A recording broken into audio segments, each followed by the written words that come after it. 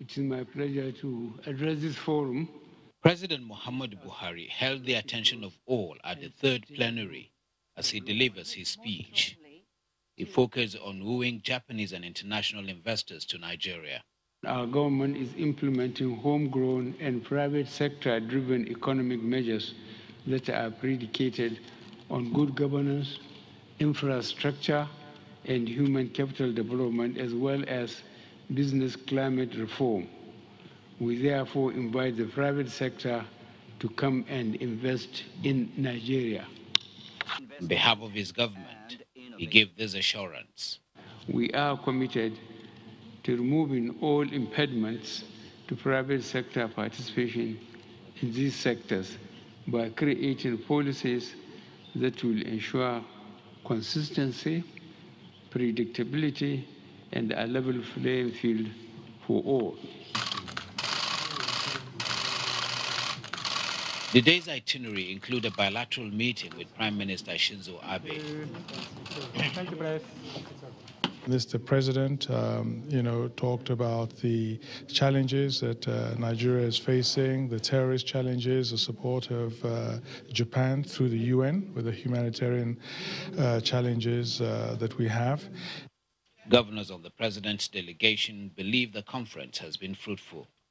So it seeks into the objective of Mr. President. He also seeks, you know, with the growth that we are aspiring in Lagos.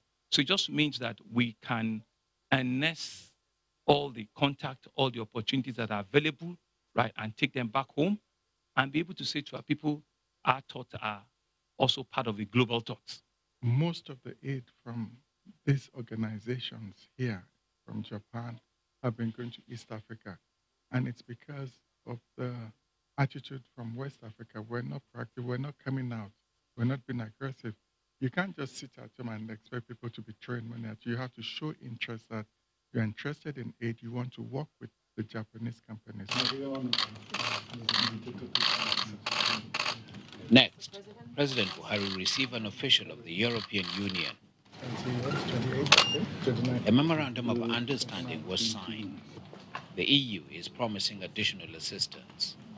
They are increasing this uh, by 50 million to 562 uh, million uh, euros, actually. And, um, and of course, Mr. President welcomed this.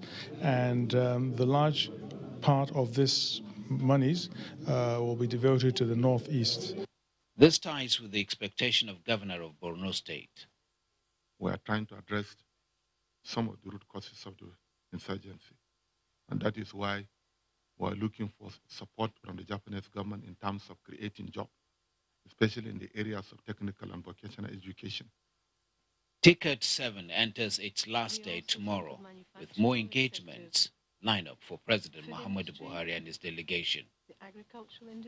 From Yokohama, Japan, Ibrahim Adra, reporting for Channels Television News.